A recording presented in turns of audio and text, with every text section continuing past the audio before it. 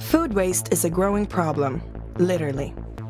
In Sweden, we have exceedingly high levels of food waste, which means that completely edible food is being thrown away by consumers. Why? We are stuck in destructive patterns. We are picky when it comes to food, and for some reason we are allowed to be. When our groceries no longer look as aesthetically appealing as they did yesterday, we either throw it away or simply buy more. And that is another problem. We tend to buy too much and end up throwing away most part of it. Today, there's a gap between what we actually do and what we say we do. We all seem to share the same attitude towards food waste, and we have agreed upon that it's a growing problem, but also that everybody is wasting food except me, which is a distorted observation. It is time to change our destructive way of thinking. Superfront is a Swedish furniture company with a philosophy to design with care by combining practical and aesthetic elements to make products that will last over time.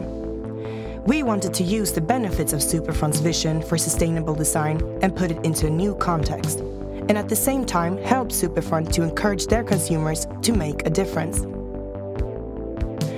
The kitchen is a place where food and cooking are central elements, and a place where food waste occurs. So how can a furniture company who already is in the kitchen help reduce food waste? Introducing Add Patterns, a collection by Superfront. The spinner. Spin the bottle.